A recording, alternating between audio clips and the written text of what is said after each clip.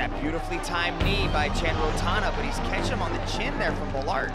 Big takedown there from the Greco-Roman wrestler. Tries to put him through the canvas, closes the guard as Chan Rothana. Hooking punch there from Balart on the front foot.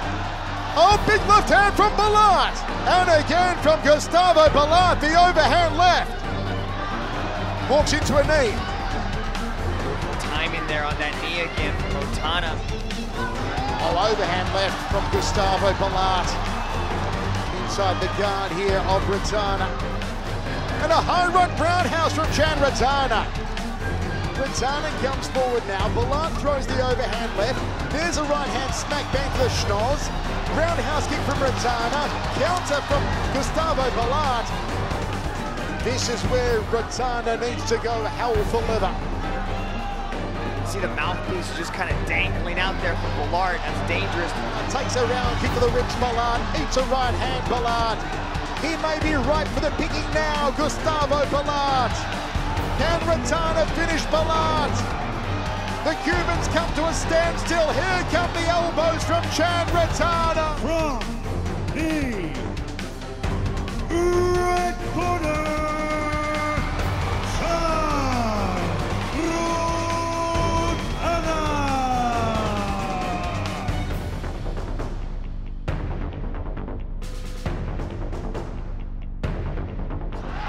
Ennahachi does present some very unorthodox angles. Let it go for as soon as that strike. Did it again.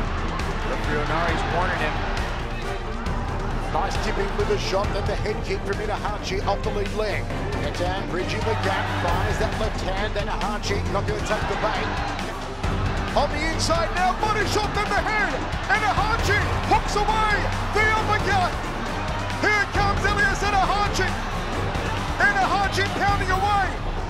the angles, trying to slow down that movement. I like the punchy combinations from Ennahachi, Oh, especially that uppercut uppercut. again! Almost knocks the die! Double roundhouse kick there from Petchdam. Ennahachi. Oh, Oh, turns it! wobbles He's it. on rubber legs! He's on rubber legs! He goes down! Petchdam's right for the picking! Is Oh. ready to go! Is ready to go! Is ready to go! He's gone! He's gone! He's gone! He's gone! It's good night, Irene!